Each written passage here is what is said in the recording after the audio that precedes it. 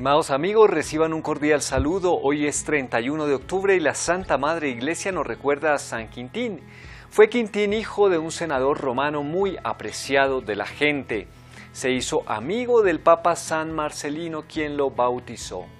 El más grande deseo de Quintín era hacer que muchas personas conocieran y amaran a Jesucristo y poder derramar su sangre por defender la religión cuando el Papa San Cayo organizó una expedición de misioneros para ir a evangelizar a Francia, Quintín fue escogido para formar parte de este grupo de evangelizadores. Dirigido por el jefe de la misión, San Luciano, fue enviado Quintín a la ciudad de Amiens, la cual ya había sido evangelizada en otro tiempo por San Fermín por lo cual hubo un nutrido grupo de cristianos que le ayudaron allí a extender la religión.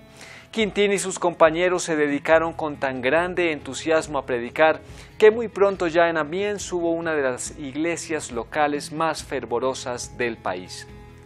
Nuestro santo había recibido de Dios el don de sanación y así al imponer las manos lograba la curación de ciegos, de mudos, de paralíticos y demás enfermos había recibido también de nuestro Señor un poder especial para alejar los malos espíritus y eran muchas las personas que se veían libres de los ataques del diablo al recibir la bendición de San Quintín. Esto atraía más y más fieles a la religión verdadera. Los templos paganos se quedaban vacíos, los sacerdotes de los ídolos ya no tenían oficio, mientras que los templos de los seguidores de Jesucristo se llenaban cada vez más y más. Los sacerdotes paganos se quejaron ante el gobernador di Giovaro, diciéndole que la religión de los dioses de Roma se iba a quedar sin seguidores si Quintín seguía predicando y haciendo prodigios. Ricciovaro, que conocía a la noble familia de nuestro santo, lo llamó y le echó en cara que un hijo de tan famoso senador romano se dedicara a propagar la religión de un crucificado.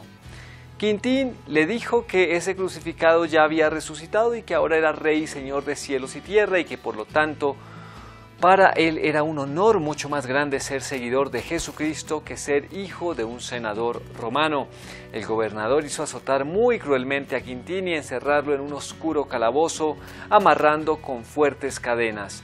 Pero por la noche se le soltaron las cadenas y sin saber cómo el santo se encontró libre en la calle. Al día siguiente estaba de nuevo predicando a la gente. Entonces el gobernador lo mandó poner preso otra vez y después de atormentarlo con terribles torturas, mandó que le cortaran la cabeza y voló al cielo a recibir el premio que Cristo ha prometido para quienes se declaran a favor de él en la tierra. San Quintín, queridos amigos, nuestro santo para el día de hoy.